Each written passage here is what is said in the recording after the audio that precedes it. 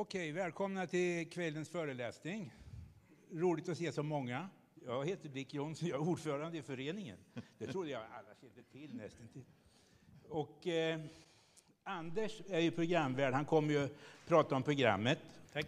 Tack så mycket Dick. Anders Idenfalk heter jag. Det här ska bli jättespännande. Ikväll så har vi Sveriges ambassadör i Israel, Erik Ullenhag. Och han kanske ni har sett eh, annorstädes också. Han har ju varit integrationsminister och eh, han har även bott i Linköping, berättar för mig här. Ger Erik en applåd. Välkommen!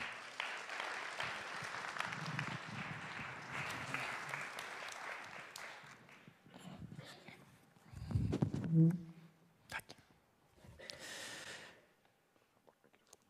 Vi tar bort den. Där. Jättetrevligt att vara här. Eh, den fungerar, mikrofonen, låter det som. Ibland ifall man tror man har något att säga är det bra att kolla det först. Det har hänt mig att man börjar prata och så har man sagt något jättesmart och så hörde liksom ingen.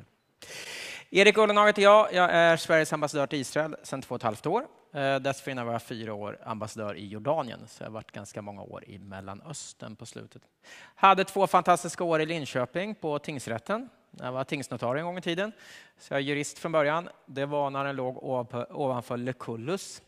Och sen fick Domstolsverket för sig att man skulle slå samman med Motala och Mjölby och flytta den till regementet, eller gamla garnison. Det är okej okay det också, fast det var väldigt trevligt när tingsrätten låg mitt i byn, eller i staden. Eh, har lite östgötaförankring, för min mamma är från Åtvidaberg. Så jag eh, följer Åtvidabergs FF noggrant. Och eh, om det är billig medlemsavgift här, så skänk gärna OFF lite pengar, för det behöver de. Eh, de klarade sig kvar i ettan här, ni som följer detta alldeles förra säsongen. Men det är klart, det är inte som på facittiden kan man säga. Jag tänkte ge lite inblick i Israel och hur jag och ambassaden ser på det och hur svenska regeringen ser på Israel. Det är otroligt stökigt just nu. Jag kommer komma in på det, men eh, det är risk ibland att man blir väldigt fokuserad på det som händer just här och nu. Jag tänkte vara lite bredare. Israel idag är ett land med ungefär Sveriges storlek, 9,5 miljoner människor.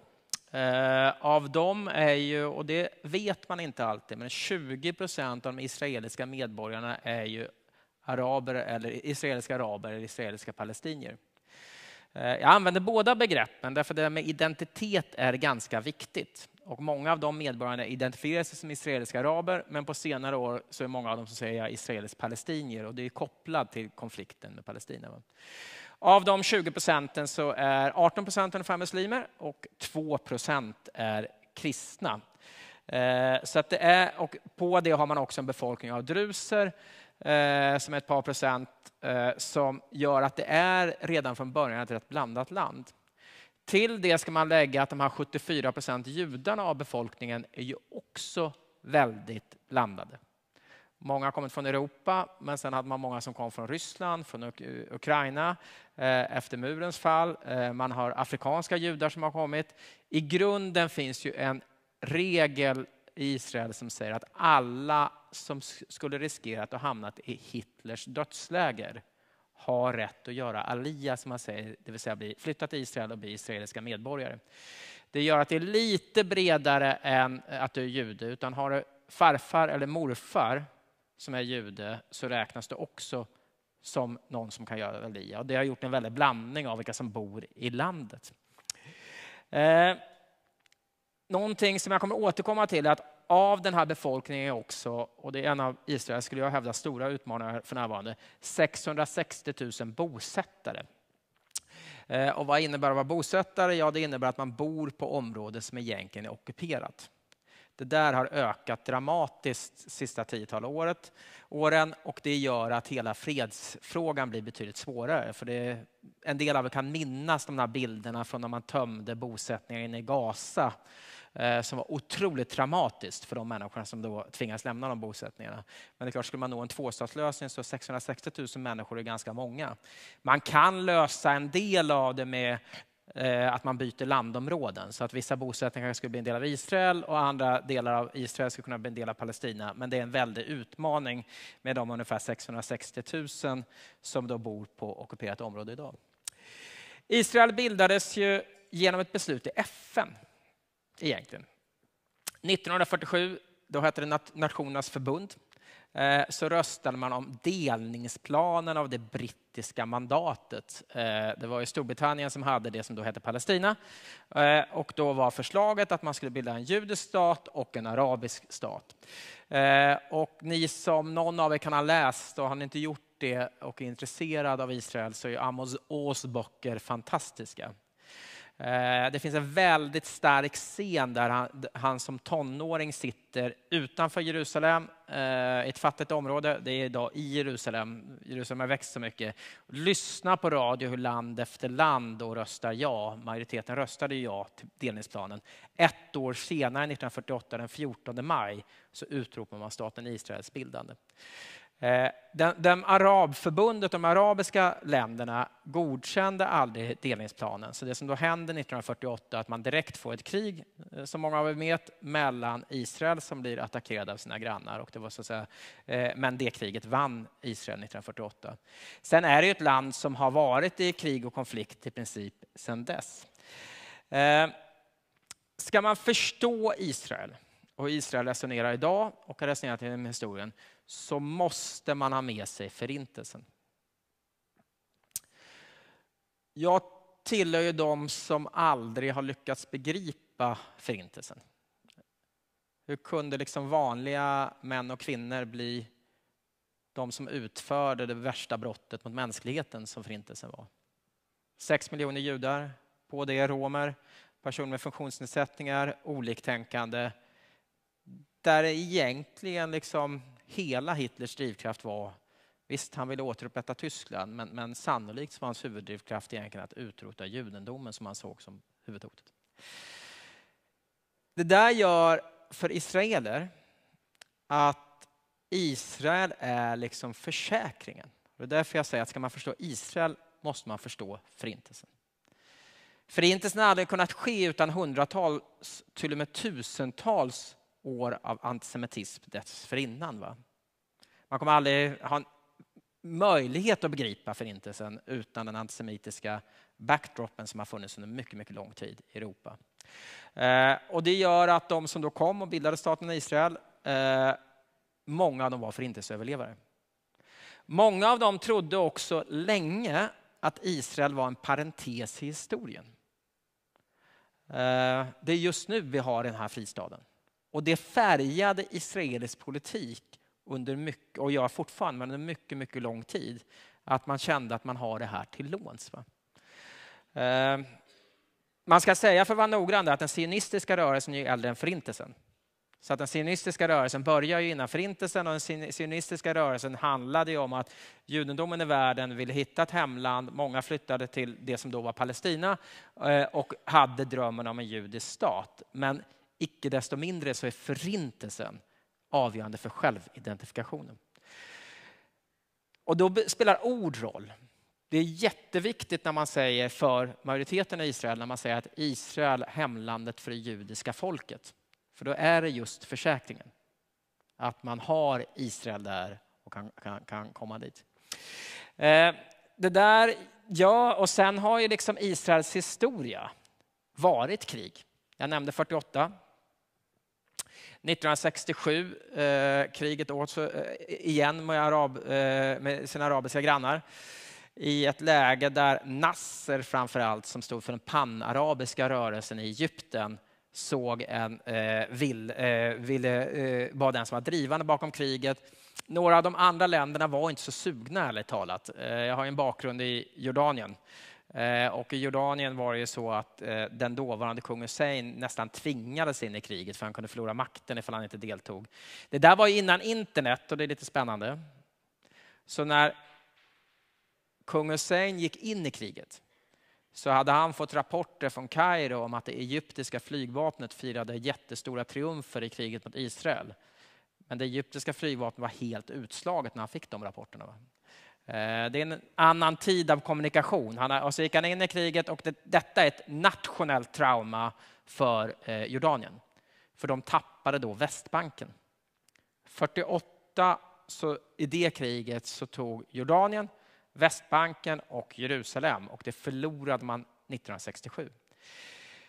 Det där är viktigt att komma ihåg, för det, gör också, det är också en förklaring till att de palestinska flyktingarna har en annan situation i Jordanien än vad de har i Libanon eller vad de har haft i Syrien. Därför att de, alla de som kom från Västbanken var, är jordanska medborgare. Och det gör att situationen för de palestinska flyktingarna i Jordanien ser annorlunda ut än vad de till exempel gör i Libanon, därför att de har hela tiden varit en del av det samhället. Sen kommer kriget 73, Jom Kippur-kriget. Det är väl det största nationella traumat egentligen, för då blev då Israel återigen angripen, eh, men under ja, den heligaste judiska högtiden, så Jom Kippur, så alla var i princip ja, alla var hemma och firade Jom Kippur. Eh, och kriget gick då till en början väldigt dåligt. Men alla de här krigen har till slut ändå Israel överlevt och vunnit och periodvis då tagit mer mark. Och den ockupation vi talar om, den är ju då från 1967 när Israel tar, eh, ta de palestinska områdena. Kombinationen av krigen och förintelsen gör att israelisk politik nästan fram till nu skulle jag säga har dominerats just av vår överlevnad. Nästan varje valrörelse har handlat om Israels säkerhet och man, tror, man ser hela tiden existentiellt hot mot överlevnaden. Jag menar, alla håller inte med mig, Eh, en del israeliska bedömare håller inte med mig, men jag menar att Israel de sista 10-15 åren är starkare än någonsin tidigare, vilket gör att man inte riktigt har ett existentiellt hot på samma sätt som man hade tidigare. Du har ingen stor syrisk eller egyptisk armé som har förmågan att gå in i Israel. Man är militärt stark, man är ekonomiskt stark. Eh, Visst, du kan ha ett existentiellt hot i Iran ifall Iran skulle få kärnvapen. Jag kommer nämna några ord om det sen. Men i grunden är det första gången i historien som Israel egentligen inte har ett omedelbart existentiellt hot.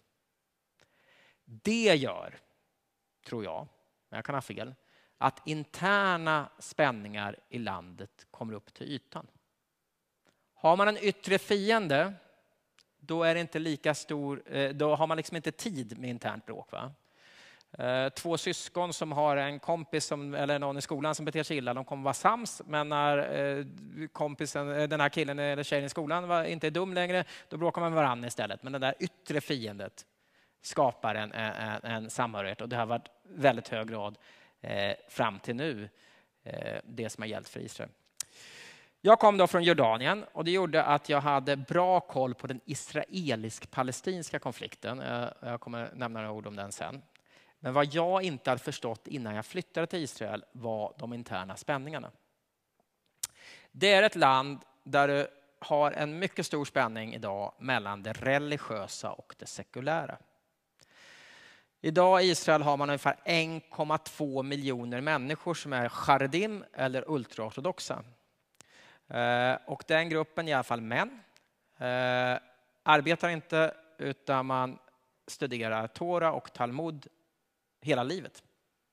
Man går i skolor där man inte lär ut engelska, man inte lär ut matematik, utan man börjar i tidig ålder och studerar Tora och Talmud. Då kan man som sekulär svensk känna, det där verkar lite konstigt. Och vad är förklaringen till det? Om man bara ska ge den historiska bakgrunden först, så går det återigen tillbaks till förintelsen. Därför att när staten Israel bildades så var den i grunden väldigt sekulär. Men Ben Gurion menade då som första ledare att vi måste bevara det judiska inklusive religionen. Och väldigt mycket av det hade, och det var några hundra som var liksom skriftlärda på det sättet. Och då inrättade man ett system som gör att jag får lite betalt av staten, jag slipper göra militärtjänst i huvudsak eh, och du har särskilda rättigheter för några hundra personer och så tänkte man att de ska vårda den här traditionen. Ingen hade ju tänkt att de skulle bli 1,2 miljoner människor. Och det där, den spänningen, eh, en intressant sak, det kan ju också vara, jag är rätt intresserad av genderfrågor. Och då är det så att det som är speciellt med gruppen är att männen studerar Talmud och Tora. Men den ekonomiska situationen, man får lite pengar av staten, men det är så pass lite så att man behöver egentligen någon som jobbar i familjen, så kvinnorna har börjat jobba. Så i gruppen så är det faktiskt 57-58 procent sysselsättningsdeltagande bland kvinnor. Det är mer kan jag berätta än italienskfödda italienska eller spanskfödda spanjorskor. Så det, i den grupp. det som är, då är väldigt speciellt med gruppen, och jag, försöker, jag jobbar nu med ett gäng ultraortodoxa feminister, det visste jag inte fanns, men de har hittat, som läser just Talmud, för normalt så får de inte studera Talmud. Eh, och det normalt sett i alla samhällen har, när du börjar få mer av jämställdhet, det är, ibland säger man cash is king, men jag brukar säga cash is queen, därför att när kvinnor börjar jobba så faller väldigt mycket annat av kvinnors rättigheter ut. Va? Eh, I Sverige var en kombination av utbyggnad av barnomsorgen med avskaffad sambeskattning. Kvinnor tog steget ut på arbetsmarknaden, fick en egen lön att leva på. Det gjorde också att man kunde komma ut dåliga äktenskap. Så har det sett ut i alla länder. Men det som är lite fascinerande när man försöker förstå den här gruppen, är att även om kvinnorna börjat jobba så ökar inte jämställdheten i gruppen, utan den går åt fel håll. Och det beror på att här är statusen inte vem som får pengar hem till köksbordet, utan det är att läsa Talmud och Tora. Eh, som sekulär svensk är det otroligt fascinerande att försöka förstå den här gruppen och också lära känna den gruppen. Men det som är då är spänningen i Israel är ju att en majoritet är fortfarande väldigt sekulär. Och de är inte så sugna på förslag om att man inte ska få sporta eller titta på idrott på lördagar. De tycker det är en dålig idé att förbjuda elproduktion på lördagar. De tycker det är en dålig idé att förbjuda kollektivtrafik på lördagar. De känner också att vi betalar skatt, vi gör militärtjänst och de lever på de skattepengarna och nu sitter de i regering. Och det skapar en ganska rejäl spänning mellan den sekulära och den religiösa gruppen. Jag råkade komma till Israel augusti 2020 och det var andra vågen av covid i Israel, eller om det var tredje, det var så många vågor. Ibland funderar jag på ifall hela covid var en dröm, en ganska märklig dröm, men okej.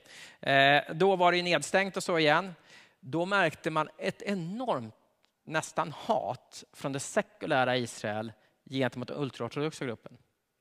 Därför att de följde ju inte statens regler. Va? Så då satt folk hemma precis som här. Man var tvungen att sitta på Zooms och Teams och dagis var stängt och arbetsplatsen var stängt och livet var ganska tråkigt. Och så tittade de på tv och så såg man att nu samlades 10 000 ultraortodoxa till en begravning eller ett bröllop.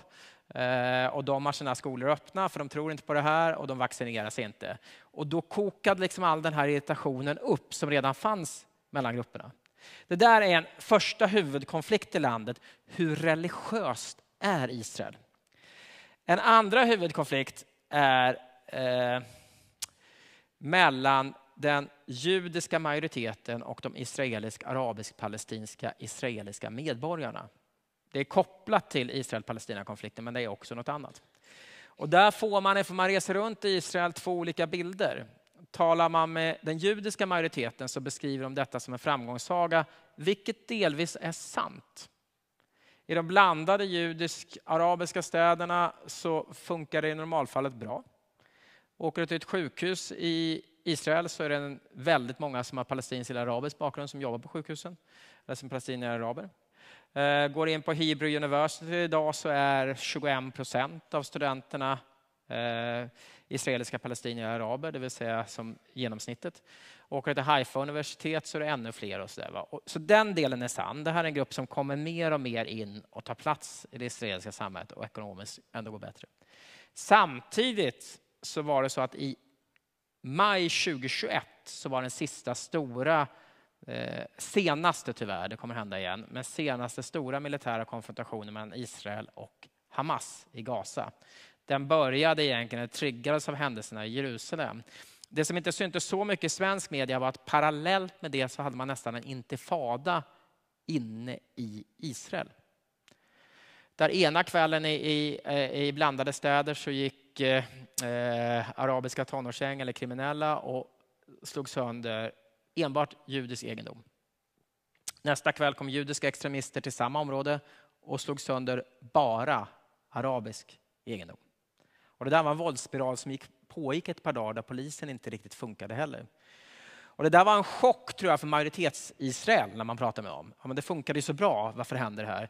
Pratar man däremot med den arabiska minoriteten i Israel så beskriver de i och för sig, ja, men vi studerar mer, vi kommer in mer in på arbetsmarknaden, men det finns fortfarande en omfattande diskriminering och vi var inte så förvånade över det som skedde. Eh, det där är nog också, tror jag, en förklaring till det senaste valresultatet där den yttersta högern i Israel stärktes av de kravallerna man hade då. Eh, en del av er kan de där namnen på politikerna, men Ben Gvir och Smotrich som är nationalistiska eller nationalistiskt religiösa partierna, framförallt Ben Gvir stärktes av detta och hans bas stärktes. Det är ofta så att i en situation med väldigt mycket konflikt i ett land så stärks extremerna. Så den andra huvudkonflikten skulle jag säga. Den tredje, det är att detta mycket rika land, för Israel är ett rikt land, är det rika land i världen som har störst socioekonomiska skillnader. Eh, det är en high-tech-sektor som är helt fascinerande, som jag håller på att koppla samman med Sverige. Det är det land i världen som har flest unicorn, alltså de här startups som blir miljarddollarföretag i världen. Eh, Jättemycket jätterika eh, människor.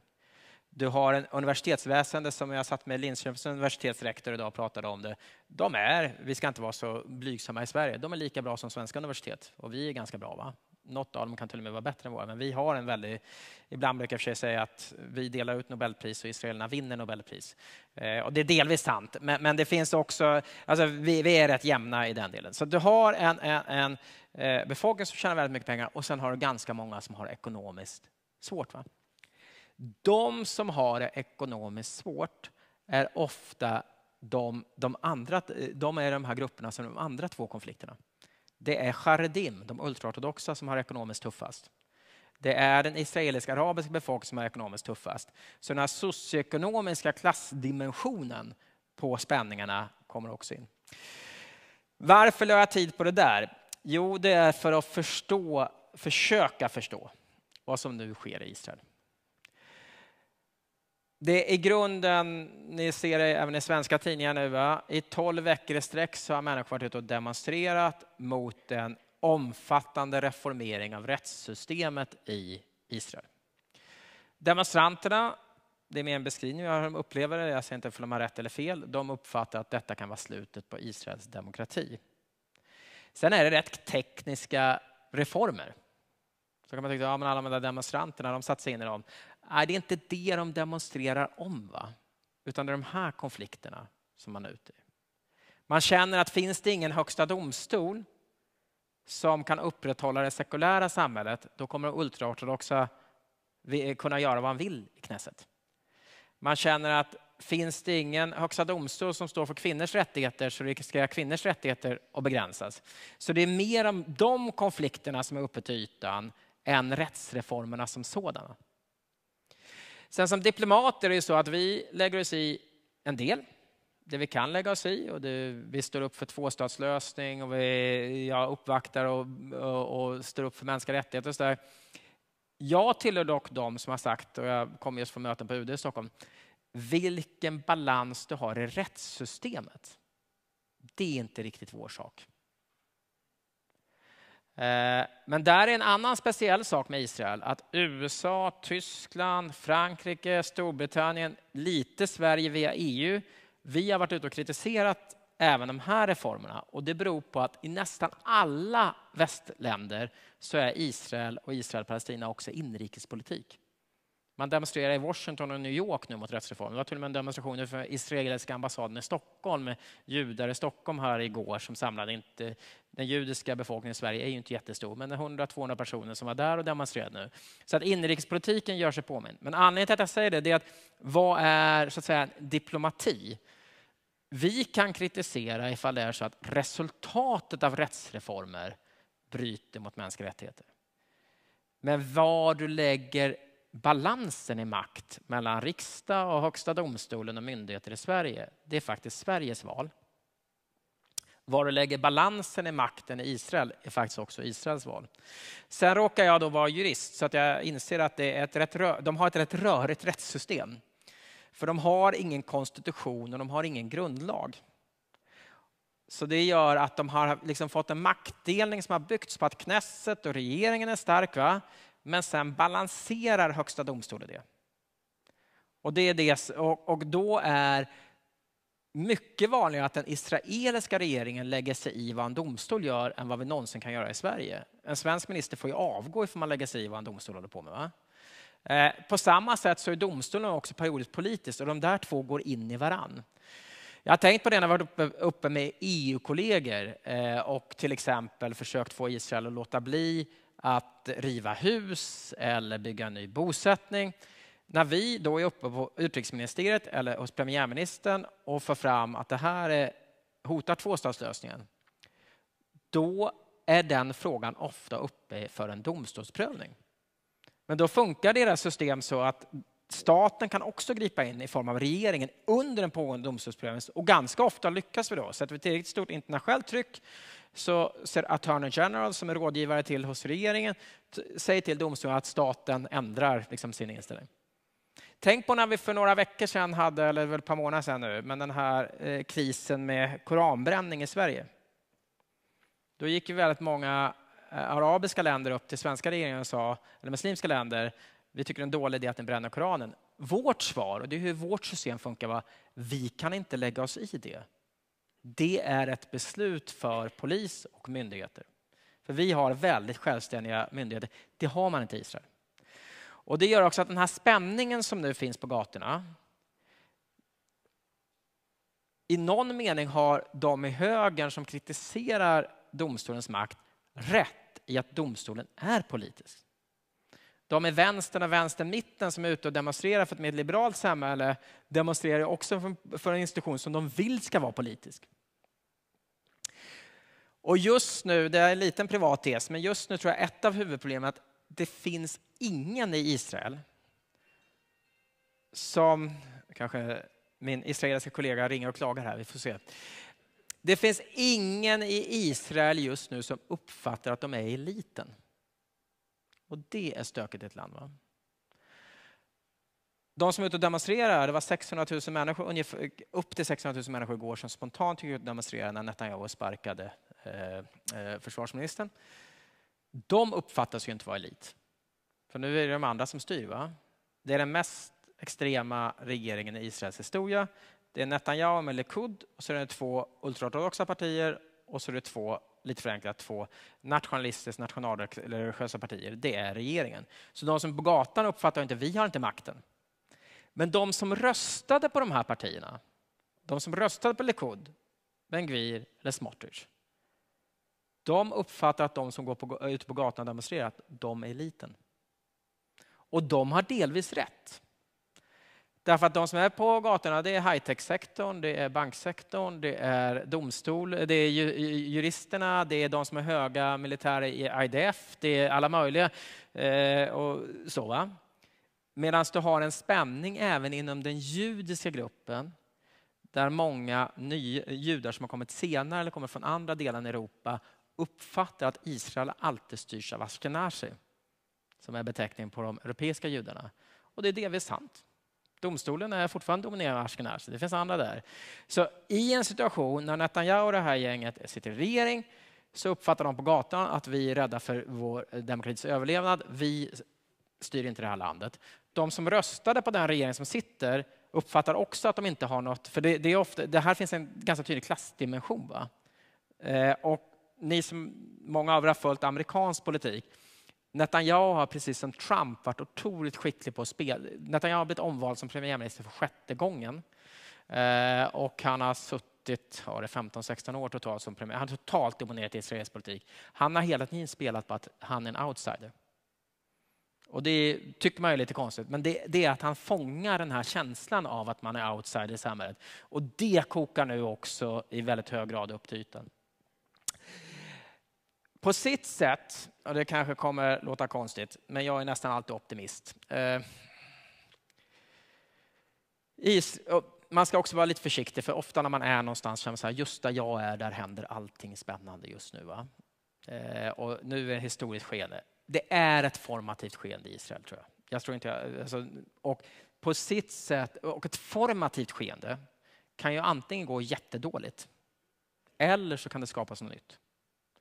Och jag tror att det, förhoppningsvis får vi inte våldsammare demonstrationer, men jag tror och är ganska övertygad om att det här som har vaknat upp nu, ett liberalt, sekulärt Israel, kommer också kunna hjälpa till att skapa något nytt.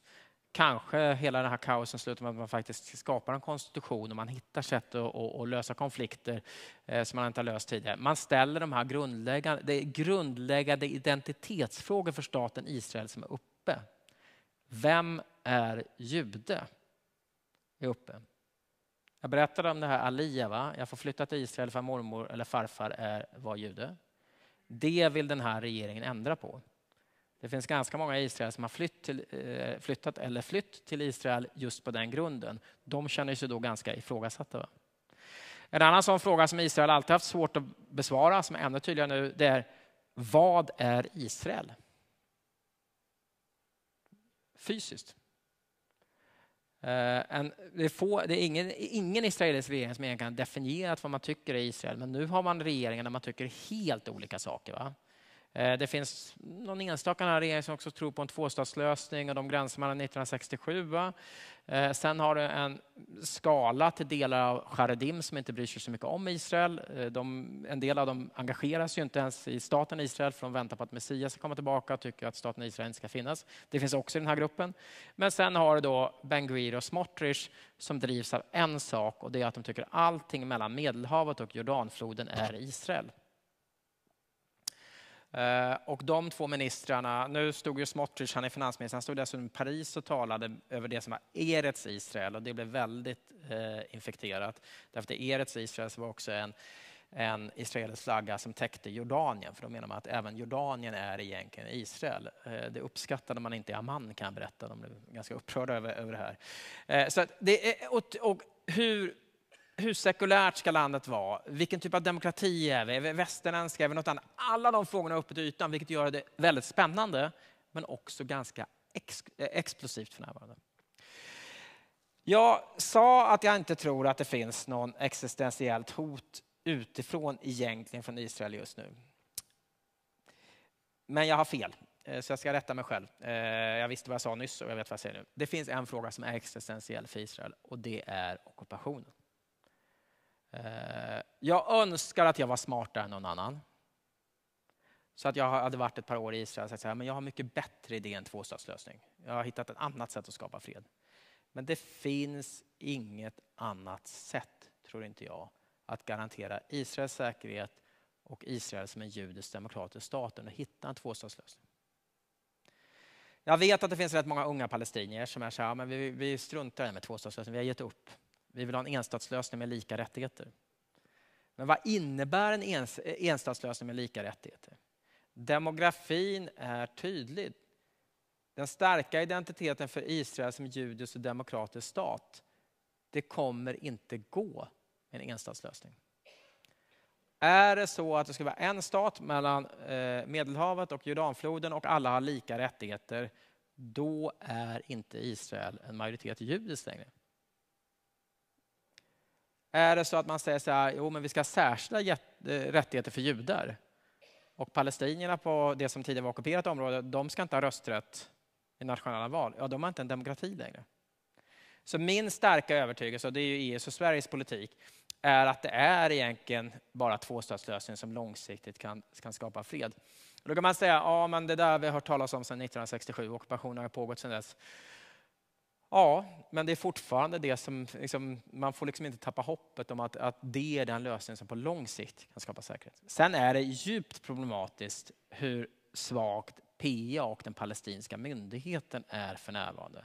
Vi är väldigt tydliga i våra budskap från svensk sida att vi måste ställa krav på palestinsk sida och faktiskt ha Eh, ha demokratiska val. Detta är ett land, eh, Abba Masen har nu suttit i 16 år sedan senaste valet.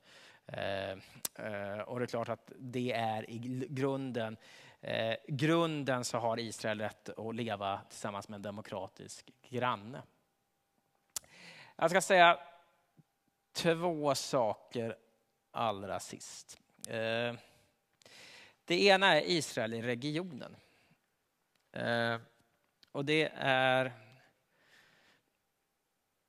För ett par år sedan när jag kom så slöts det som kallas för Abrahamsavtalen. Och det var under Netanyahus förra regering. Eh, man slöt då freds eller normaliseringsavtal med ett antal länder, viktigast av dem UAE. Eh, det, eh, Förenade Arabemiraten. Det där var formativt. sedan det avtalet slöts har en miljon israeler åkt på besök i Förenade Arabemiraten. Och det går tillbaks till liksom Israels historia. Den glädje som fanns över det avtalet bygger på att man alltid har känt sig isolerad och inte haft några grannar att umgås med. Man har fredsavtal med Egypten och Jordanien, men det är ingen varm fred. Men här var det helt plötsligt ett land som sa, några länder och UAE är viktigast, att vi vill ha de här relationerna med Israel. Det betyder enormt mycket. Sen fick det väldigt starkt stöd bland den israeliska befolkningen därför att det var Netanyahu och högern som hade slutit det. Eh, och det gjorde att man kände att det var Netanyahu som skapade detta och det var det i, faktiskt med hjälp av USA. Eh, det var det också. Eh, och med mitt enkla perspektiv att se på världen så var det dessutom väldigt bra för att länder blir sams är bättre än att de är osams. Va? Eh, och eh, dessutom så gillade hela vänstern i Israel detta därför att man vill ha fred med fler grannländer. Så hela Israel tyckte det var en fantastisk händelse. Även den israeliska arabiska befolkningen, för det är många av dem som har, har åkt till Gulfen och fått den kopplingen. Så det där var en ganska formativ händelse när det skedde. Det var också ett av Netanyahus viktigaste vallöften nu, att han ska fortsätta i det han kallar Circle of Peace och till exempel försöka få till ett liknande avtal med Saudiarabien. Det har hittills inte gått så bra. Det där ser jag och har sett ganska länge som en av de bromsar som finns på den här israeliska regeringen för att ställa till med för mycket skada i förhållande till Israel och Palestina. Därför att Netanyahu kommer aldrig lyckas få ett freds eh, normaliseringsavtal med Saudiarabien ifall han tillåter att den här Ben Gvir som är partiledare i Judisk makt och som är polisminister går upp på Klippmoskén eller Tempelberget som han säger hela tiden. Va? För gör han det så kommer det skapa otroligt mycket våld i Israel och det är jättekänsligt i hela, hela arabvärlden inklusive Gulfen med Jerusalem. Han kan inte heller, ifall han vill detta, skapa en situation där han eh, kraftigt ökar antalet bosättningar, illegala bosättningar på Västbanken och går dem till mötes den delen. Därför då kommer han också tappa Saudiarabien och kanske också UAE. Så det där finns en tryck på honom och han är nog genuin att han vill öka detta. Eh, vi får se hur de kommande veckorna blir. Eh, därför att nu går vi in i Ramadan, ortodoxa påsken och judiska påsken samtidigt. Eh, och det brukar kunna vara en tid som kan bli ganska stökig. Eh, hittills de första dagarna har gått bra. Vi får se hur det går. Eh, någon beskrev det som ett påskmirakel ifall det inte blir våld under den här perioden. Och jag hoppas att denna någon får rätt. Vi lägger rätt mycket tid på internationella samfundets sida. EU, jag själv, USA, allihopa på att försöka hjälpa Israel och palestinier att eh, inte göra dumheter under den här tiden. För det är otroligt känsligt eh, när någonting börjar ske i Jerusalem. För det riskerar att sprida sig som en löpen. Allra sist, innan jag blir, ska svara på frågor. Något om de svensk-israeliska relationerna. Eh, jag nämnde det att Sverige 1947 röstade ja till delningsplanen. Sverige hade under mycket lång tid väldigt, väldigt nära relationer med Israel. Tage Erlander och Ben Gurion var i princip personliga vänner. Eh, kibbutzrörelsen. Sverige är det land i världen som har skickat flest frivilliga kibbutzerna. 50 000 svenskar var jobbat på kibbutzerna. Det gick charterplan, bokstavligt talat, till Israel. För mig som ambassadör, en del av den gruppen blev ju kära i landet eller kära i någon i landet och stannade. Eh, och det är kanske en av de viktigaste bryggorna mellan Sverige och Israel idag. De som då blev så att säga, våra ambassadörer och har, har rötterna i båda länder. Sen hade vi en period, eh, svensk utrikespolitik, nu tar jag väldigt skissartat, va? men ett Sverige som nästan hela politiska fältet efter andra världskriget var väldigt USA-tillvända. Man ändrade synen på USA i samband med Vietnamkriget, ungefär när Utrikespolitiska föreningen i Linköping startades 1968. Eh, så blev det en annan syn på USA och sen kom första Libanonkriget med Israel och det drog också över en annan, ett större engagemang och ett annat utrikespolitiskt fokus på många människor i Sverige, där vi också skapade bra relationer med Palestina. Och vi hade under en period var det så att det, Osloavtalet till exempel, som skulle lett till tvåstatslösningen, det var ju färdigförhandlat i Stockholm. Så det var Sverige som la grunden för det. Ganska, man kanske inte ska skämta om sånt, men ganska länge var vi rätt sura på att det hette Osloavtalet och inte Stockholmsavtalet. Nu går det så dåligt så nu kan det få heta Osloavtalet. Men eh, ja, så. Eh, ja, bjuder gärna norrmännen på att äta Osloavtalet ifall det verkligen blir fred. Men, men, men det, det har inte riktigt samma positiva klang på någon sida som det hade för 10 eller 15 år sedan. Så, och sen hade vi som ni vet en situation där, där Sverige erkände Palestina för åtta år sedan. Eh, och då blev den israeliska reaktion, reaktionen väldigt stark mot Sverige. Och vi hade tio år utan att vår utrikesminister, oavsett vem det var, kunde åka till Israel. Eh, min huvudinstruktion, vilket är ganska kul eh, när man är utsänd diplomat att ha någon sån när man var ny, men det var att försök normalisera relationen med Israel utan att förändra politiken. tack för den det är klart att i någon mening så har vi tonalitet förändrat. Va? Alltså israelerna normaliserade och Ann Linde var på besök också för att man uppfattade att man hade en regering i Sverige med Stefan Löfven, Ann Linde och också då en opposition, men även då den sittande regeringen som verkligen ville detta. Vi uppfattade som tydligare just upp till Israels rätt till säkerhet. Eh, och och eh, vi fick en ny regering då i Israel och det hjälpte till med den här normaliseringen. Eh, och nu skulle jag säga att relationerna är goda.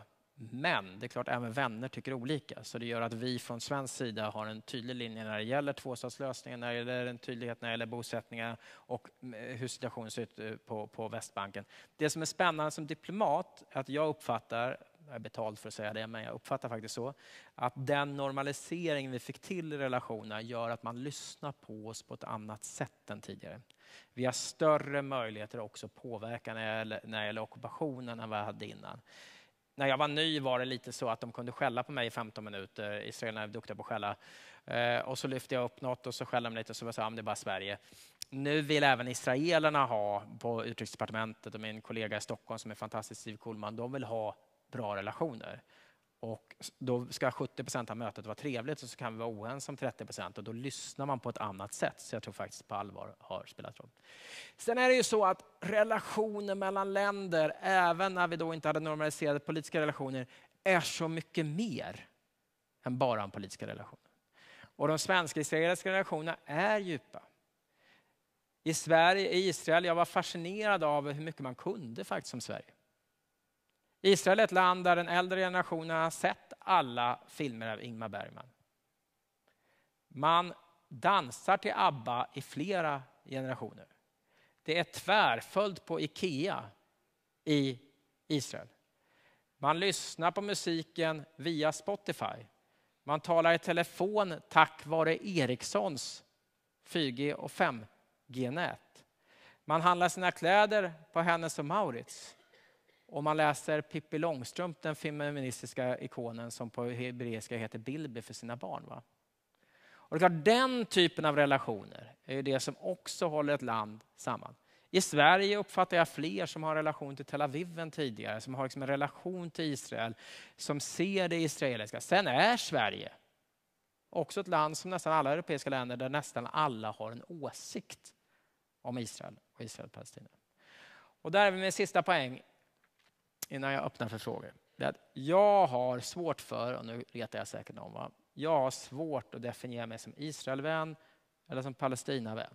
Jag tycker den, därför att tror man på en tvåstatslösning så är jag både vän av Israel och vän av Palestina. Men det är väldigt konstigt att vi har befunnit oss i en tid där man liksom måste ta ställning. Jag tror att vi som utrikespolitisk, eh, som utrikespolitisk aktör också måste vara tydliga mot övergreppen oavsett vart de sker. Va? Ni hör ju själv, en del ni följer CNN och läser svensk media, ibland så låter diplomater som ja, Israel rätt till säkerhet och sen är det där fel och sen ska man alltid vara extremt balanserad i vad man säger. Ibland är det ganska enkelt. Om Hamas skickar raketer för att döda civila, då är det fel, punkt. Om barn skjuts på Västbanken så är det fel, punkt. Och då kan du också få, och ledstången är inte så mycket svårare i den här konflikten än så många andra. Världen blir bättre ifall vi står upp om den, för den grundläggande idén om mänskliga rättigheter. Den grundläggande ganska enkla idén om alla människors lika värde. Och har man den ledstången i detta så är min slutsats att då kan man vara vän både av Palestina och Israel. Men det finns en del saker som sker på båda sidorna som vi behöver säga, säga ifrån på skarpen när det sker. Tack för att ni lyssnade.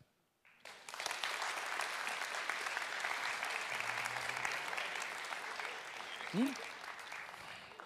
Vi ska ha ett eh, samtal här och vi har vice rektor Per-Olof Bremer från Linköpings universitet som moderator. Och eh, tillsammans med honom så i samtalet så har vi två personer till, Kjell och Lejon och Per Frankelius. Ni får presentera er själva sen och välkommen. En applåd till de här personerna. Hej igen. Vart vill du ha mig? Okej. Okay. Jag sa att Linköpings universitet var bra, gjorde jag inte det? Absolut. Ja, bra. Absolut.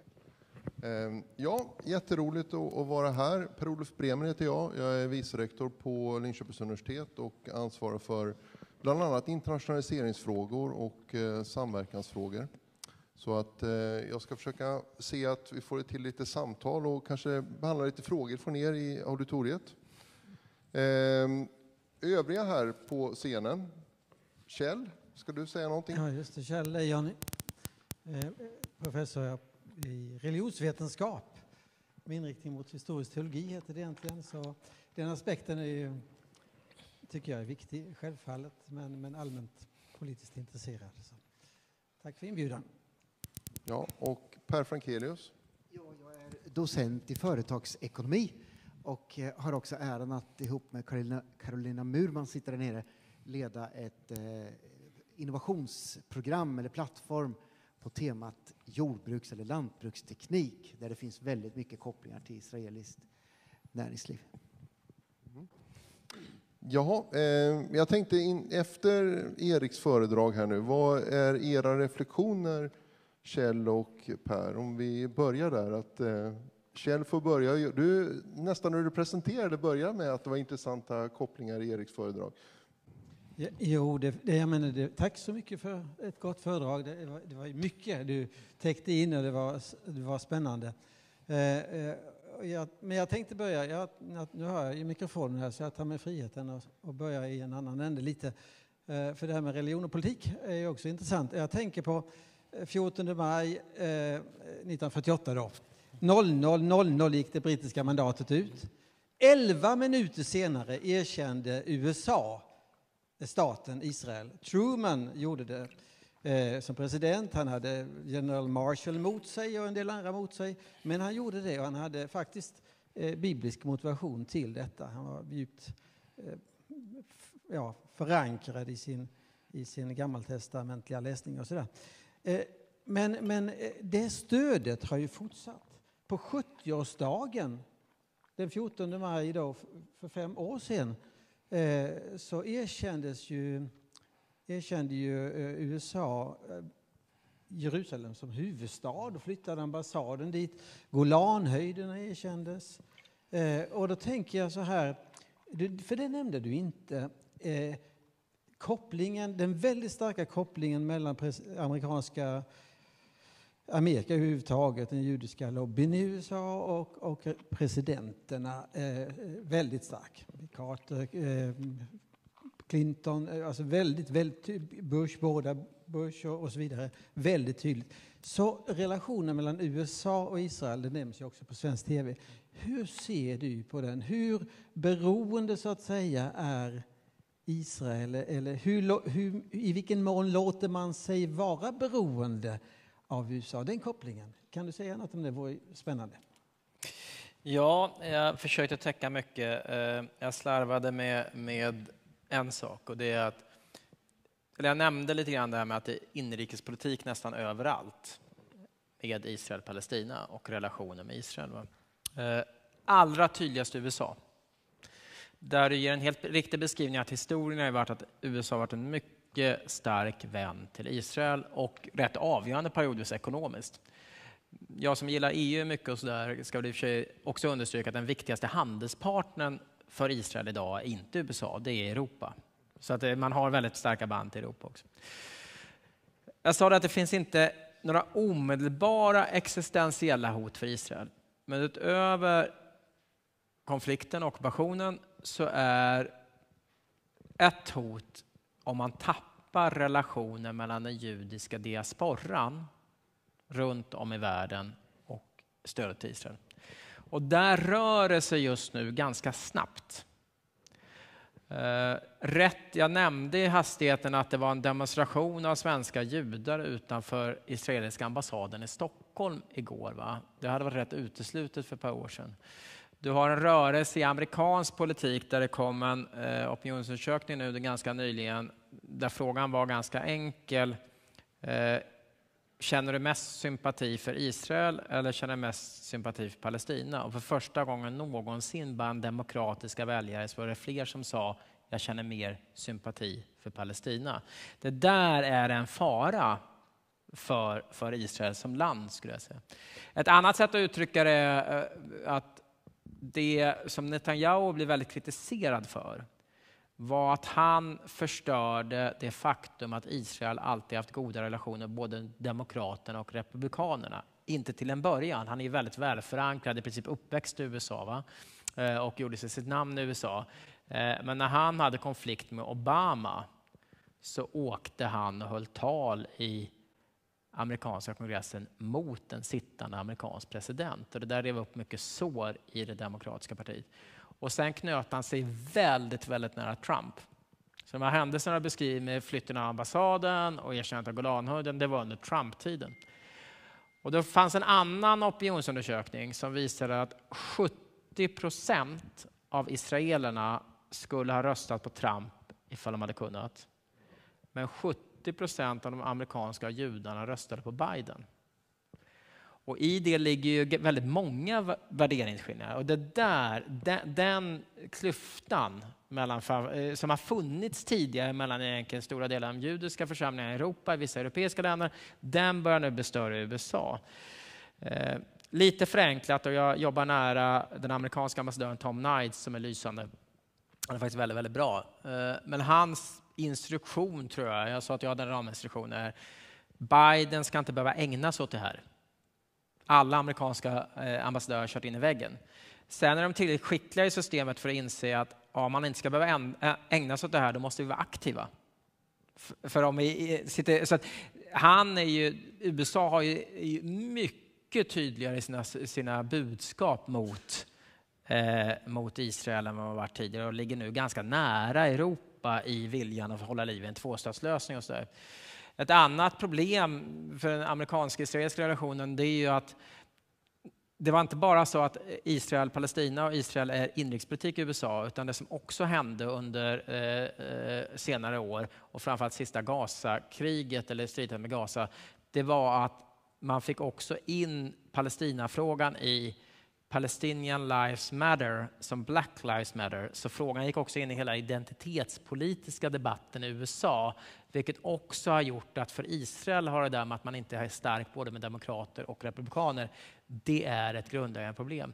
Och en allra sista reflektion kring det hela. Eh, Tom Knights, den amerikanska ambassadören, jag citerar mig inte på det här, men han är ju politiskt utnämnd eh, och han är amerikan. Eh, så det gör att jag brukar ofta reta honom för, men vem är vi när du pratar? För då kan jag säga vi tycker det här och så säger jag, men är det Demokratiska partiet? Är det USA? Och det kan alltid eh, skifta. Eller han är också jude. Eller är det vi som judar som tycker detta? Då skrattar han bara. Så det, men vid något tillfälle beskrev han förändringen i USA där han sa så här, vi har förlorat campuserna. Eh, och vi då menar han den judiska befolkningen i USA för Israels sak. För eh, stämningen på amerikanska campus är betydligt mer Israelkritisk skulle jag säga än i de flesta svenska universitet idag. Så det är en rörelse där som nu med demonstrationer och mycket annat som uppe eh, kan, kan, kan bli rätt formativt. Ja, man kan ju säga att jag tänker på eh, om vi tittar på Demokraterna och Republikanerna så är ju parti, Republikanernas partiprogram är ju extremt Israelvänligt. Mm. Eh, och det är inte Demokraternas på samma sätt. Så här blir en delning på ett sätt. Men trots det så är det ju eh, till och med mer än 70 procent som, som röstar demokratiskt av, av hävd egentligen. Ja, bland annat. Ja, men där finns också en annan, nu ska vi inte fastna i amerikansk politik Nej. för det är spännande, men det Trump i det som är, stöttar Israel väldigt mycket idag så är också den evangelistiska rörelsen i USA som är viktig för Republikanerna. Och han har också använt, ärligt talat, Israelfrågan för att nå den evangelistiska rörelsen. Sen är det ju bekymmersamt eh, att Trump och folk i Trump-administrationen har ju uttryckt sig på ett sätt periodvis som närmar sig antisemitiskt men har blivit förlåtna av det för sitt stöd till Israel eh, av delar av Israel. Eh, men när Trump säger så här, varför röstar inte judarna på mig? Jag har ju flyttat ambassaden. Det är ju ett kollektivt tänkande kring en etnisk grupp som, som, som närmar sig det antisemitiska på ett ganska obehagligt sätt. Faktiskt. Evangelikala. Ja. Ja, en del säger evangelistiska, men det är inte riktigt korrekt. Okay, evangelikala. Jag är sekulär svensk, men jag har ändå konfirmerats ja, en gång till. Det är bra. Nej, men, men rätt begrepp är evangelikala. Mm. Så, tack. Ursäkta, men så är det. Men jag tänkte man kan ju ta en, en eh, likhet här. Vi pratar om USA och eh, Israel, men det finns ju också en väldigt stor påverkan från Sverige i Israel. Alltså mycket av sociala system och annat tog man ju inspiration från Sverige av eh, när staten bildades. Eh, och då kan man ju ställa sig frågan över hur har man förvaltat det i Israel och hur har man jobbat vidare med socialsystem och så vidare i den här utvecklingen under de här 75 åren? Framför allt så har man ett sjukvårdssystem som är väldigt framgångsrikt, eh, som är inspirerat av det svenska, eh, som nog är ännu mer effektivt än det svenska. Eh, man har i grunden fyra sjukförsäkringar som man kan tillhöra. Man kan välja mellan dem. De fyra är privata, men de är offentligt finansierade. Och det där, jag kan inte detaljerna i det, men det är ett system som fungerar väldigt bra. De har en väldigt bra högspecialiserad vård. Det de ska kunna lära sig av Sverige, man kan alltid lära sig något av Sverige. Det var Margot Wallström som en gång lite självironiskt sa “Why don't you do it like you do it in Sweden?” Det gillade jag. Eh, omvårdnad är de dåliga på, men det, det är liksom, de är jättebra på högspecialiserad vård, men de har liksom inte sjuksköterska och undersköterska. Där kan vi, men vi kan lära oss av varandra i, i detta. Eh, men det är en del. Sen är det andra delar där de inte har kommit lika långt när det gäller sjukförsäkringar och så där. Men pensionssystemet är rätt stabilt, sjukvårdssystemet eh, är där och det är en inspiration som finns från, eh, från början från Sverige. Ja, men det är ju, jag brukar ibland citera nuvarande utbildningsminister Mats Persson brukar säga att ska Sverige hitta inspiration ifrån andra länder så lyfter han tre och då är Israel ett, Nederländerna och Danmark, det är de tre.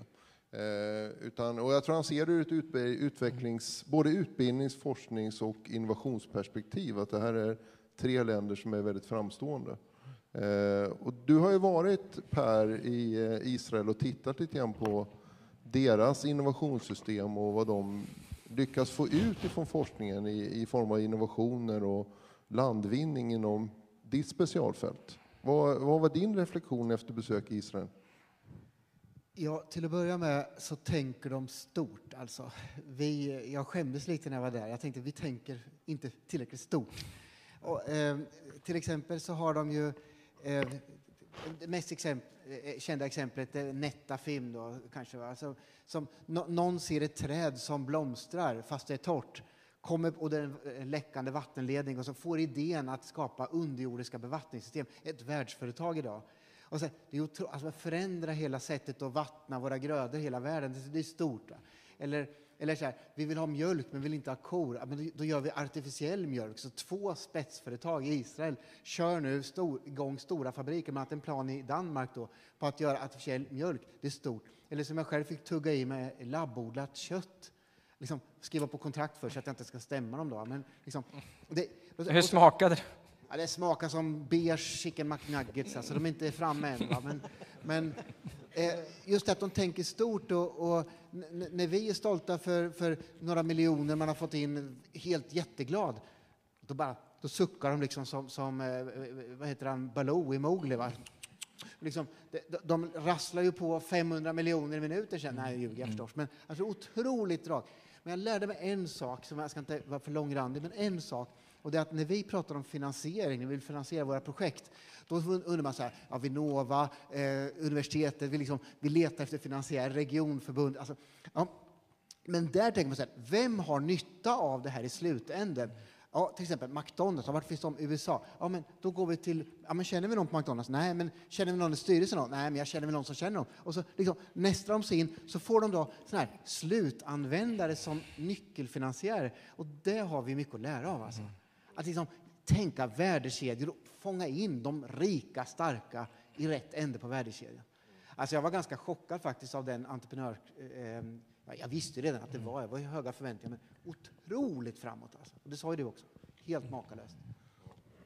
Ja, men det, är, det är väl spännande att se för att det är ju som er, du sa här Erik om att det finns väldigt stora likheter mellan Sverige och eh, Israel och, och, det är ju två länder som satsar väldigt mycket på högre utbildning. Eh, man har, eh, som du sa, ja, på samma nivå som i Sverige tycker jag. Vi har ett antal universitet som ligger på väl rankade både i Sverige och det finns i Israel. Eh, och eh, jag tycker man måste se över att ja, vi har också saker vi kan exportera och mm. föra vidare till Israel. Och eh, vad är det du brukar lyfta när du pratar med, med personer i Israel från Sverige? Att det här är saker som ni borde ta med in och jobba med Israel? Alltså stod, ja, vi har ju en fantastisk startup-scen i Stockholm, vi ska inte glömma bort det. Men om man då ska få... Du Stockholm? Och Stockholm, eh, Linköping med omnejd, inklusive Stockholm som förstad till, till Linköping. Eh, men Stockholm är ganska starkt, men Stockholm och eh, bredare. Men vi har ju en fantastisk startup-scen i Sverige.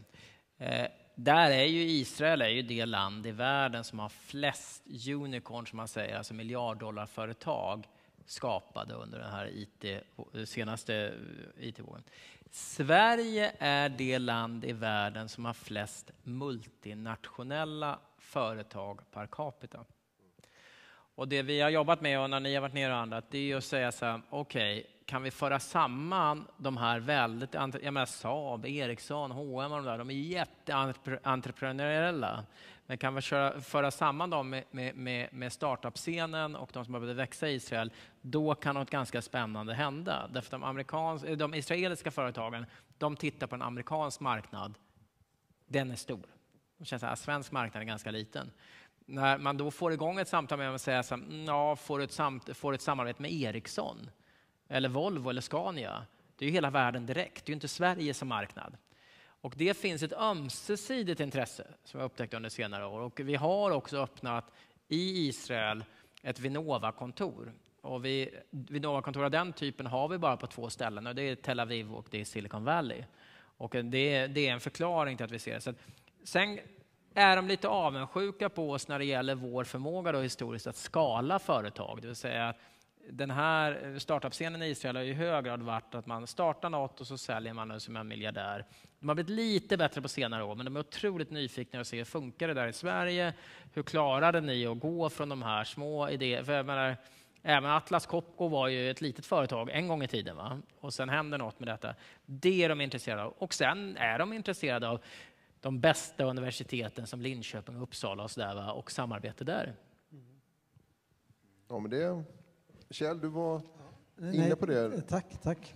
Ja. Eh, jag hade en annan, en annan eh, fråga utifrån eh, den här ministern som var i Frankrike och hade en karta som mm. inte inkluderade Jordanien egentligen. Eh, och så vände jag på det, för jag vet ju i, i ganska många palestinska, eller i palestinska utbildningsväsendet så, så finns på deras kartor inte Israel med, å andra sidan. Och då tänker jag på det du nämnde, det där demokratiska underskottet eh, både på Västbanken och definitivt i Gaza, men även, även Västbanken. Det är väl eh, sen 2005 tror jag inte det har varit något presidentval där till exempel. Eh, och sen, sen har vi det här med vad man då kritiker i Israel säger pay to slay, alltså att man eh, belönar eh, Eh, egentligen terrorister, palestinska terrorister som dödar man en israel och hamnar i fängelse så får han lön familjen får lön. Dödar man flera så får man högre lön. Alltså det finns en, en, vålds, en våldsattityd både inom Fatah och Hamas som ju för många, tror jag, och som ser på det är väldigt konstigt. Samtidigt så är de flesta FN-kritiken är ju oftast riktad mot Israel och inte så ofta hör man ju, eller jag i alla fall, jag kanske är selektiv här, men men eh, kritiken av, av den typ av våldsretorik som drivs via undervisningsväsendet. Eh, så gärna en kommentar till den. Men sen har jag bara en annan, mer, mycket mer allmän. Erik, vad tycker, nu har du, ju, du undervisar ju oss och det är vi jätteglada för. Men, men är det något särskilt som du tänker på att det här fattar inte svenskarna riktigt. Det här måste jag eh, tala mer om för att vi ska förstå situationen där nere. Ja, men det är ju så att alarmen går allt som oftast. Skyddsrummen finns alldeles intill. Då blev vi i en väldigt speciell situation. Och det, det gör ju inte vi som inte har varit i krig sedan med Norge. Eh, så, att, så att, vad tycker du att vi behöver lära oss mer av för att bättre förstå situationen eh, och den judiska identiteten? Så det var två helt olika frågor. Ja, vi ska klara båda. Eh, om man börjar med, med, jag var ju på det att det, det, vi, vi behöver stärka institutionerna och få demokratiska val i Palestina. Där är Sverige och EU glasklara. Dock lite ensamma. Därför att problemet som delar av övriga världssamfundet har haft och även Israel och i det här fallet axeln Israel-USA, ja men har vi val så kan ju fel människor vinna. Och då har man en rädsla för att Hamas ska vinna. Det är väl en del opinionsundersökningar som säger att Hamas kan vinna men inte få egen majoritet på Västbanken. Å andra sidan så är det högst sannolikt att skulle man ha demokratiska val så skulle Hamas förlora på Gaza där de styr. Så det här visar ju så att säga ett distrust eller ett bristande förtroende mellan befolkningen och systemet att man röstar bort dem som styr sannolikt på båda ställena.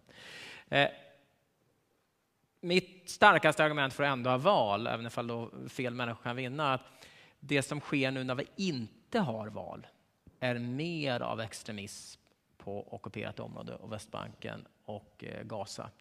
Eh, därför att när du då tappar förtroendet för Fatah och för PA, den palestinska myndigheten, så blir det andra grupper som sker. Så att när, när, när en del uttrycker sig ja men om det blir val då riskerar extremisterna att vinna och terroristerna att vinna.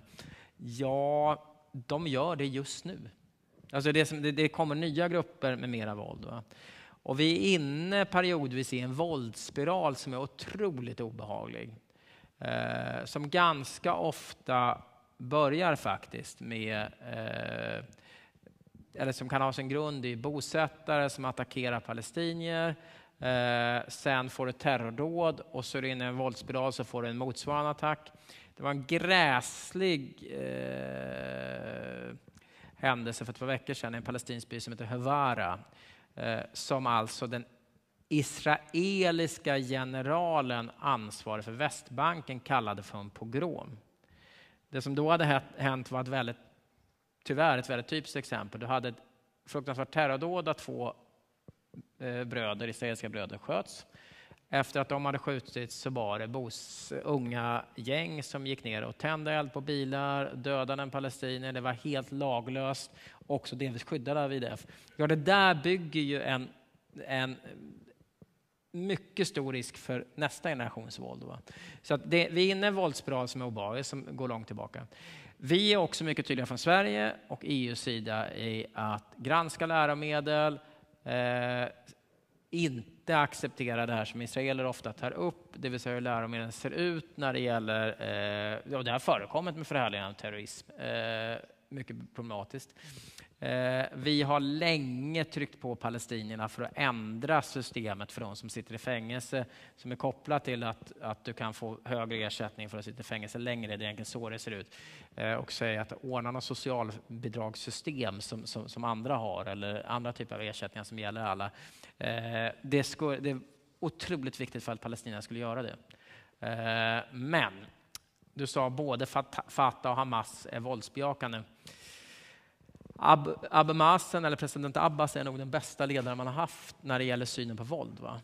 Eh, nu, nu, tappar han mer och mer förtroende, men president Abbas har hela tiden varit antivåld, mer än vad hans företrädare Arafat var faktiskt. Så att Fatah har ändå varit en partner till Israel som man delvis har hållit på att tappa. Vad ska man veta för man försöker förstå Israel i den här regionen? Eh, ja, till, första med, eh, till, till att börja med så en hel del av er har varit i Jerusalem. Men för att förstå när det liksom blossar, både det fantastiska men när det blossar upp, så är nästan alltid kopplat till Jerusalem. Ni som har varit där vet det, va? men klagomuren ligger här. Ovanpå den ligger klippmoskén Al-Aqsa. Det, det, är så nära det är. Går man ett par kvarter bort, då går man på Golgata och så kan man gå till, till, till eh, kristnas hedensplatser. Så allt detta ligger samlat här. Eh, och en enorm, eh, en enorm risk för spänning. Första gången jag var i Jerusalem, det var många år sedan, så var jag fascinerad av vilken blandning det är. Man står där och tittar och så ser man de muslimska kvarteren och så ser man de som ska be vid klagomuren, man ser de ortodoxa, man ser kristna, du ser präster. Det som är sorgligt idag är att står man där en kvart och tittar så ser man visst, det är blandat men helt separerat. Ingen av de här interagerar med varann. Man är liksom fysiskt närmare vad ni sitter varandra nästan på de här gränderna. Men grupperna interagerar inte. Jag överdriver lite, men, men, det finns det. Sen för att förstå, nu ska jag eh, flörta lite med ditt ämne höll jag på att säga.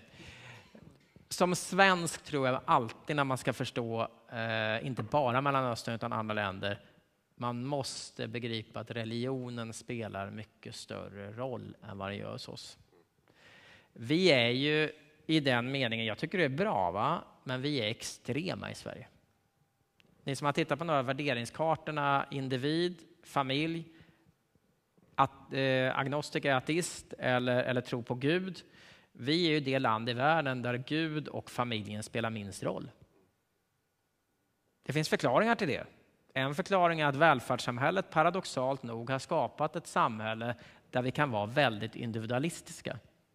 Det finns inte så många andra länder där jag kan flytta hemifrån när jag är 19 år och få hjälp av någon annan än min familj. Va?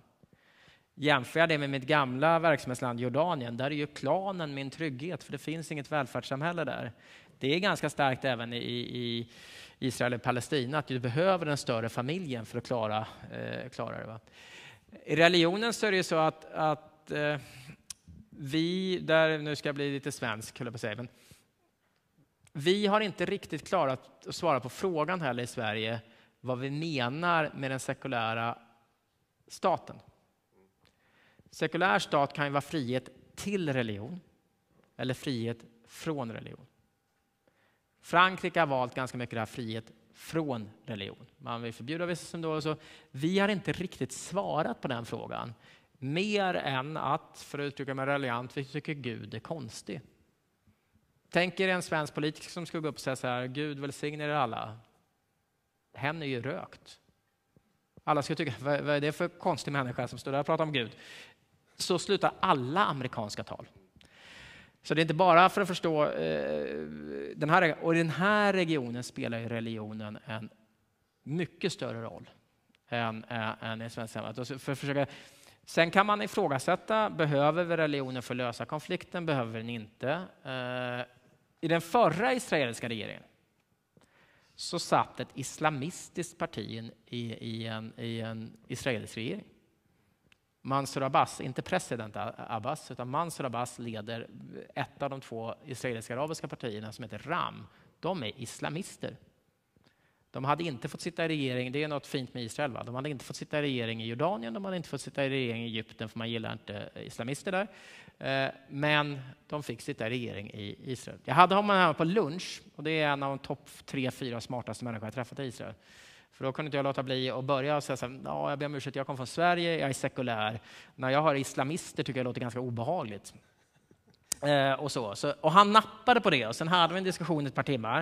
Eh, där det är klart vi tycker olika med LGBT-rättigheter och det finns massa sånt. Men i grunden en ganska god demokrat. Men hans huvudargument, och det där jag säger rätt eller fel, han menar att man kommer aldrig lyckas lösa varken tvåstatslösningen eller Israels utmaningar utan att de religiösa faktiskt hittar gemensam, eh, gemensam grund.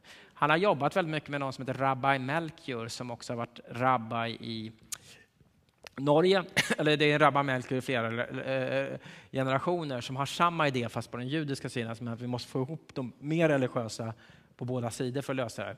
Jag vet inte om han har rätt, men det, det, det, vi har lite sådana försök i allt från, från Skäggetorp till, till Malmö. Och så. vi kan ibland behöva använda religion i Sverige också, eh, men inte alls på den skalan. Och eh, den respekt han då visar för andras religiösa tro, det har vi inte riktigt. Så ska man försöka, försöka hjälpligt förstå regionen, det gäller inte bara Israel och Palestina, det gäller Jordanien, det gäller Egypten och så där också.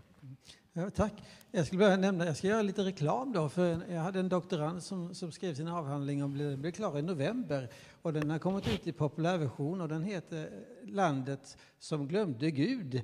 Mm. Eh, och så går han igenom egentligen eh, socialdemokratin under 1900-talet, hur, hur för, familjepolitik, eh, kyrkopolitik och så vidare förändrades och drev den här individualismen som kom först på 60-talet. För de är egentligen socialister och kollektivister, så hur blev, de, hur blev vi då individualister? Så den kan jag rekommendera, den boken, Landet som Gud, Gud glömde. Sen, den sekulära staten bygger ju, som eh, böcken föredrar säger, eh, juristen och konstitutionella domaren i Tyskland, han säger ju att den sekulära liberala staten bygger på förutsättningar som den själv inte kan skapa. Eh, den, alltså det bygger på en normativ grund som måste finnas där för att den ska fungera. Och det kan vi ju fundera vidare på allihopa. Det behöver vi inte diskutera nu, men slå upp böckerna för det när ni kommer hem. Ja. Vad säger Per då? Har du eh, funderat vidare efter dina första inlägg här kring de storslagna planerna? För jag tänker, jag menar en del som, eh, som utifrån när man ser på Israel är ju att man är väldigt duktig på att nätverka med med andra. Du var inne på det här med, med eh, hur man såg på McDonalds och brukare och annat. Men eh, alltså utifrån får man ju en bild också av att Israel och olika företag och aktörer i Israel är väldigt duktiga på att skapa nätverk. Eh, Erik var inne på att den största handelspartnern är Europa och eh, det är ju en, en viktig del i detta. Men hur, hur var din bild på det här med nätverkandet och hur, hur man tänker kring det i Israel? Jag, har lite, jag är lite kluven. Alltså jag är imponerad som alla andra av deras nätverk. Det, det ligger väl på något sätt i kulturen också. Då. De har väldigt internationellt nätverk och samhörighet. Men jag är lite putt på, på, på israeliska kulturen på en punkt. Jag kanske har fel nu då. Men det är att, du sa så här, ja, men de är så intresserade av svenska eh, stora företag därför att det kan vara ett sätt för dem att komma ut i världen. Mm. Men jag, min första fråga när jag kom in här med Israel, vi höll på ganska mycket, det är liksom, what's in it for us då? Alltså, ska, man, ska vi åka till Israel ska vi väl göra affärer tillsammans, va? Ge och ta. Så jag hade med mig listor med svenska agtech-företag och de bara tittade på mig så här, vi är väl här för att promota israeliska företag. men, men, men, jag tycker inte det. Jag tycker att är man två länder så tycker jag man ska tänka vad kan vi ha för utbyte med varandra. Det tycker inte jag riktigt israelerna är med riktigt i den. Jag kan ha fel. Är det rätt? Är det vad jag som har fått för mig eller är de lite så ego, att de tänker på sina egna företags väl och ve, men inte så lika mycket på våra företags som kan komma in där som en marknad? Nej, de bryr sig inte så mycket om eh, svenska företags väl och ve, men det tror jag inte svenska företag bryr sig så mycket om israeliska företags väl och ve heller. Utan det, det som däremot finns är att det finns ju, det, det, vad kan ambassad göra i det här? Vad kan Vinnova-kontor? Ja, vi kan som vi gjorde där sammanföra människor. Och då har vi sett att det ganska ofta kan bli ett plus ett är tre. Va? Och det som många israeliska företag nappar på, aha, kan partner vara Ericsson? Varför har Wallenberg-familjen vi fått ner ett par gånger sista året? Jo, därför att de ser att här kan det vara disruptive. Här är nästa generationer som kan utmana AstraZeneca eller något annat Wallenberg-företag. Och det är också idéer de kan knytas till, så det finns en vinst där universitetsvärlden när vi har knutit dem samman. Vi satt ju idag för Linköpings universitets intresse av Israel. Det är ganska ömsesidigt. Sen är vi olika i olika kulturer. Det är lite snabbare i det israeliska och är det liksom något som man är intresserad av, man vill göra nu. Vi är lite långsammare, men igen tror jag är ganska genomarbetade när vi inleder ett samarbete. Vi kommer gärna tillbaka, vi finns där. Eh, men ibland kan de tycka att vi är långsamma. Men det är klart, det är ju inte svenska företags uppgift att gynna israeliska företag och inte vice versa heller. Men finns det en affärsnytta på båda så kan vi föra länderna samman och göra saker lite bättre. Båda länderna är mycket entreprenöriella. Och det har jag ägnat tid att försöka förstå. Ja, men hur kan det vara Israel och Sverige som toppar nästan alla de här listorna i nytänkande, entreprenörskap, innovationskraft. Eh, det finns en hel del som är olika, men det finns ett par saker som jag identifierat som är lika. Det första är att båda våra länder har ganska nyss varit väldigt fattiga. Vi glömmer bort det. va? Men jag brukar ibland tänka på min farmor som var ett av åtta barn. Prästen och folkskolläraren knackade på på den där lilla bondgården utanför Arvika i Bollgård och sa kan inte Greta få gå mer än sex år i skolan? Och då sa hennes föräldrar det har vi inte råd med och hon är flicka så det blev bara sex år i skolan. Och det är inte för att berätta om min egen familj jag berättar det, utan det är ju hela den resan som generationen gjorde som föddes på 40 och 50-talet i Sverige. Att både min mamma och pappa är de första som fick gå mer än sex år i skolan i sin släkt. Det drivet och den bildningstraditionen det skapar och ganska nyss har varit fattiga tror jag inte man ska underskatta. Det har vi gemensamt. Israel var ett väldigt fattigt land när det bildades då 1948. En annan sak som vi har gemensamt som man inte tror, men det var, vi hade, det var faktiskt när vi hade några i Wallenberggruppen nere, så var David Sonnek som är VD på ett av Wallenbergs företag. Han var tidigare VD på Industrifonden. Så, så att vi hade en middag och så var det en kvinna jag hade med på den middagen som har skrivit en bok och försökt förklara undret i Israel och den kallar hon, den heter Shutzpa. Shutzpa är ett sånt här hebreiskt uttryck som inte riktigt går att översätta, men det bygger egentligen på att man alltid ifrågasätter auktoriteter och det är det som gör att det spelar ingen roll ifall man är en sån här fin universitetsperson och tar en taxi i Israel och du säger något om, om, om Sverige eller om Israel. Taxichauffören kommer veta bättre än dig. Det är liksom schutzpa. Det finns också en lite elakare bild av schutzpa som är liksom att man eh, disrespectful mot äldre och sådär. Men, men det är sidor, men, men det är schutzpa. Så hon, hon beskrev att detta är en nyckel till entreprenörskapet, det här schutzpa vi har. Och då sa den här David Sonek, ja det är som Sverige, sa han. Ah, så beter sig inte Sverige. Nej, men han pekar på att vi är också väldigt platta. Och så sa han på den här middagen, eftersom han varit aktiv i Wallenbergsfären, att Wallenbergsfären har perioder haft problem när man anställt en VD från ett annat land. Därför då har den vdn, i synnerhet för en amerikan, kommit in och sagt på eh, styrelse eller med sina chefer, vi ska göra A, B och C. Och då funkar en svensk organisation lätt så att då knyter vi handen i fickan och så är vi tysta och så tänker så här, det kan ju du tycka. Får se hur det går. Eh, så David beskrev liksom att det som behövs i en svensk miljö är att förstå det platta och skapa ett lagtänkande där du faktiskt får med dig människor. Okej, det är inte schutzba, fast det är lite samma sak. Att du måste så här med argument få med, och det är en arbetsgrupp i en kommun eller i eh, en förening eller i ett företag. Det är ett sånt sätt vi jobbar på. Där finns ett par likheter. Sen finns det en gigantisk skillnad att, att Israels militära förmåga och innovation. Mycket av innovationskraften kommer däremot. Fast det finns ett par likheter i detta. Och som sagt, de är intresserade av dig ifall du har något att ge dem. Eh, då tycker de det är spännande. Eh, men det är inte, jag ska väl inte skicka ner ICA dit och säga att göra affärer med de här för Israels skull, utan det är för ICAs skull de ska göra affärer där. Jag kan kanske tycka ibland, vi är små länder båda två. Mm. Man skulle ju kunna tänka sig att vi är två olika men små länder i en, i en värld med Frankrike och Tyskland. Man skulle ju kunna tänka sig att man gör gemensam sak och skapar samarbetsprojekt mot en stor värld som marknad. Att man liksom tänker att man, marknaden är alla andra stora länder och vi kan hjälpas åt som små länder och göra saker ihop. Ja, fast de tycker nog, och det tror jag vi tycker också, vi är ganska världsledande båda två i det okay. vi gör. Alltså, jag, jag, så. Och jag, menar, okay. jag, jag, jag har beskrivit en israelisk regering som nu har stora problem. Eh, och Sverige har inte alltid, och inte jag själv, hållit med Benjamin Netanyahu. Men eh, han har gjort en del rätt spännande för Israel också, Benjamin Netanyahu. Och en sån där sak han gjorde, eh, det var att han, han såg till att Israel var det land i världen som fick vaccineras först. Och det han gjorde, det var att han ringde 19 gånger till Pfizers VD. Jag skojar inte. 19 gånger ringde han till Pfizers VD och sa att vi måste pröva era vaccin. Det var Schutzpa. Det är inte så många mindre länder som har gjort det. Och till slut fick man pröva vaccinen. Och då blev det ju en kritik mot varför kommer mer vaccin till Israel någon annanstans. Då ringde han, en, han ringde 23 gånger till slut tror jag. Då ringde han 20 gånger och sa ja, om ni använder det i Israel, det här är ju innovativt, då kommer vi dela med oss av vår data till alla andra. Så om ni ser till att vaccinera vår befolkning först, då vet ni hur det funkar. Och det var en affärsnytta för Pfizer, så lyckades han med det. Va? Eh, jag kommer, min fru är diplomat också, jobbar på den palestinska sidan och är inte alltid en, en eh, fan av, av, av Benjamin Netanyahu. Men hon kom hem och så sa så här, Ja, jag skulle nästan rösta på den där killen, det var mitt under covid, ifall jag bodde här. Eh, men det säger också något om israelisk politik. Eh, därför att han har varit så dominerande så länge, så det påverkat inte valresultatet alls. Israelerna har 30-35 procent av Israel, jag tror det minskar lite nu, älskar Benjamin Netanyahu. Ungefär 50 procent säger vi måste ha någon annan ledning. Det hade man, trots att han ordnade då, mitt i valrörelsen, vaccinerat hela, hela folk, så påverkade det inte. Jag glömmer aldrig karantänen där nere, för de hade ju reglerna flera månader efter alla andra länder hade släppt dem. Ja. Det var lite speciellt.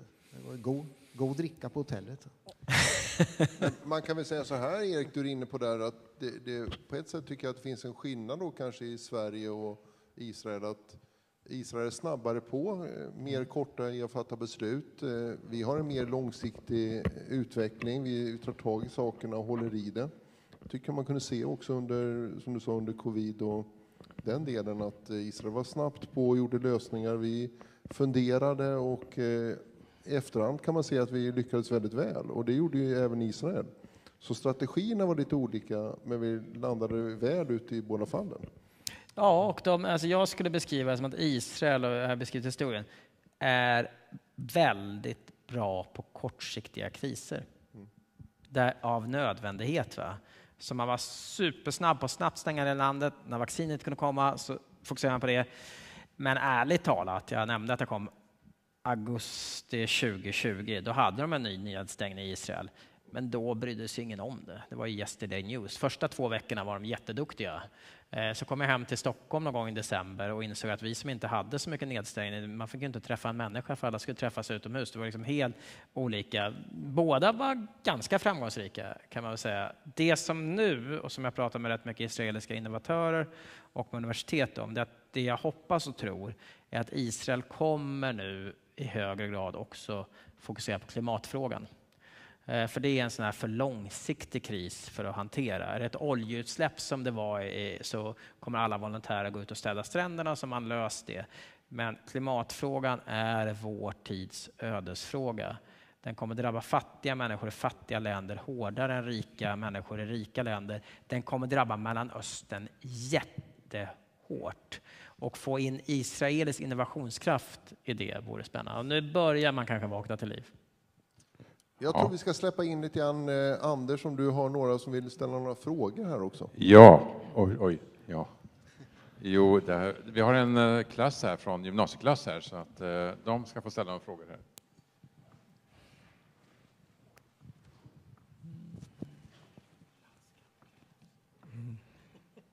Ja, det var sorgligt sist. Hallå? Nej, men eh, min fråga är, skulle du säga att eh, den svenska medien är lite missvisande angående situationen mellan Israel och Palestina? Nej, inte längre.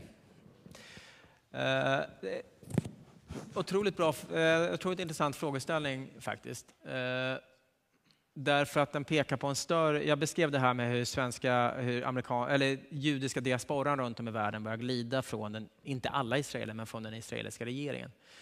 Det beror också på vad skriver de i media, vad uppmärksammar man sig.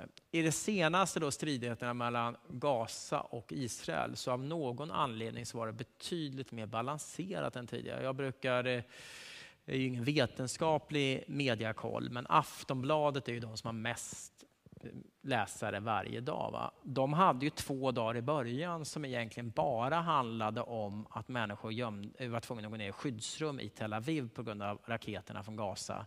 Det var en lite ny, ny vinkel. Sen var ju Israel hade ett, ett svar som skapade en massa lidande också på Gaza. Det speglade man och sen låg det kvar flera dagar båda de, eh, båda de eh, narrativen. Och jag tror att det finns två förklaringar till det. Eh, det ena tror jag är att, att eh, ett antal, eh, regeringen och andra har varit tydligare också med att lyfta kritik mot båda sidor än tidigare. Och det påverkar faktiskt media. Det finns säkert någon journalist här, men, men vad, vad, politiker säger påverkar media. Det andra är att den här gången så kom det raketer mot Tel Aviv. Och Tel Aviv har man en relation till. Eh, Medan normalt sett brukar en sån här stridighet med Gaza börja med att det ramlar, eh, sköts raketer mot Sederot och, och, och gränsen mot Gaza. Eh, och med all respekt för Sederot så är det ingen människa i Sverige som vet var Sederot ligger. Va? Så det finns inget allmänintresse utan då blir det lite notiser i det och sen dagen efter får man då, eh, eller ibland samma kväll, Israel kör in med moderna stridsplan och bombar Gaza. Så har man inte sett det första som hände. Den här gången blev det ganska balanserat och anledningen till att det var en väldigt intressant fråga att jag håller på att försöka fundera på varför har vi gått i en riktning och fått en mer balanserad bevakning som jag menar att det är. Medan rätt många andra länder nu är mer lika Sverige som hade kanske en lite obalanserad bevakning åt andra hållet. Någonting sker där. Så att mitt korta svar är faktiskt nej. Hade jag kunnat säga istället för att svara så länge. Ja. Eh, oj.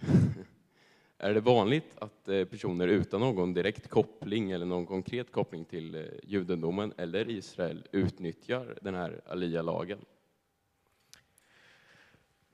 Ni är pålästa. Eh, så här, det finns något som heter Jewish Agency som är ansvarig för invandring till Israel och du ställer rätt höga krav på att du ska visa att du har en judisk koppling då på åtminstone farfar eller morfars sida. Samtidigt så är det klart att i den här stora vågen som var efter att Sovjetunionen fall, föll eh, där det kom hundratusentals, till och med över miljonen människor under kort tid. I de grupperna så säger även eh, ryssland att en del av de som kom kanske inte direkt hade en judisk koppling. Eh, så att under den perioden var det nog en hel del som gjorde det. Nu är det nog mer, ja, man har rätt. Du behöver visa via en rabbin och annat att du har en judisk koppling. Och så, där. så det finns en relativt stor kontroll, men historiskt sett finns det säkert en hel del som har kommit via Alia som egentligen inte uppfyller kraven. Klockan är 20.04. Är det någon ytterligare fråga? Så, eh, annars avslutar vi här. Vad säger ni? Har du något, Per-Olof?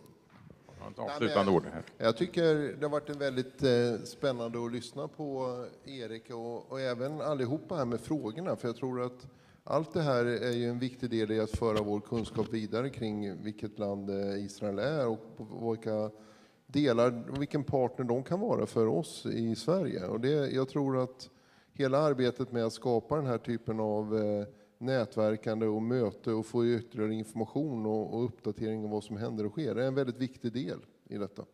Eh, och, eh, så jag tycker det har varit ett trevligt samtal och roligt att lyssna på dig Erik. Och även tack till Kjell och Per för väldigt goda frågor och eh, kommentarer på det här. Så att, eh, jätteroligt att få moderera er så här efter föredraget. Tack så mycket. Ja, tack ska du ha.